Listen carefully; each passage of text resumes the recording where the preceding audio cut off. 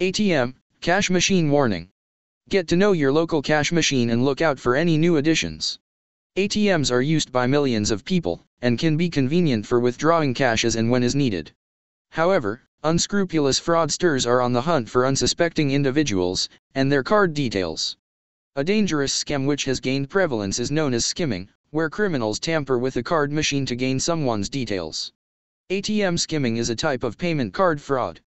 It is a way of stealing pins and other information off credit cards and debit cards by rigging machines with hidden recording devices. Bank ATMs and payment terminals at petrol pumps and other merchants are the targets of this scam.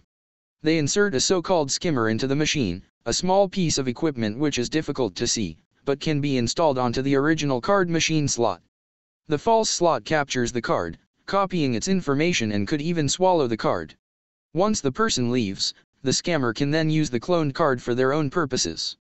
ATM skimming could have seriously dire consequences for those who fall victim to it. Look out for the signs. If you spot something that looks out of place, avoid using that cash machine and contact your local police.